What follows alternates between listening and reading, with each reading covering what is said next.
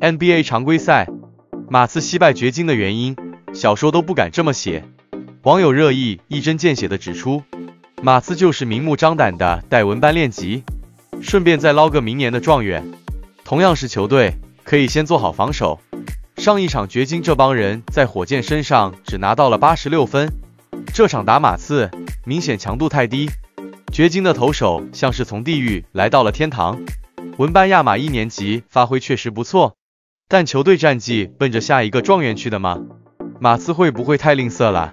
还想像培养邓肯、帕克、吉诺比利那么按部就班吗？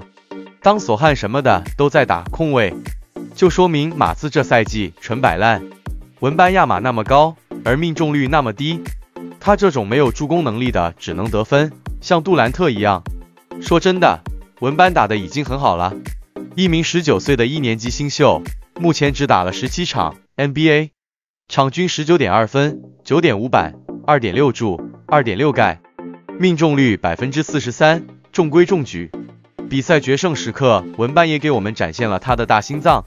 我们还能要求更多吗？看得出来，马刺还想要状元签啊！再摆烂两年，重新选好阵容，扬帆起航。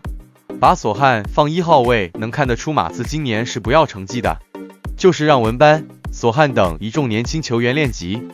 虽然索汉打控卫是有些力不从心，但经过这一年的历练，来年放三号位打个组织前锋应该是游刃有余吧。明年休赛期，马刺也会围绕文班组建阵容，到时候花大钱整个有经验的优秀控卫，搭配瓦塞尔、索汉、文班。缝缝补补下，马刺大概率就完成重建了。没有黑波波维奇的意思，但老爷子对比赛的胜负感觉失去斗志了。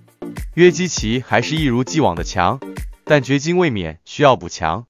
这支马刺队即使老爷子也解决不了，一堆单打的后卫线真没一个梳理进攻的。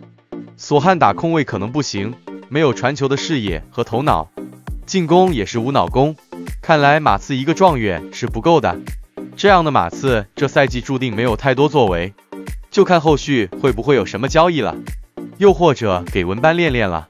邓肯刚进马刺的时候，他身边的队友的层次可比现在要强多了。说到底，篮球还是集体运动。感谢大家一直以来对我的关注，创作路上感谢大家的陪伴，我会继续加油的。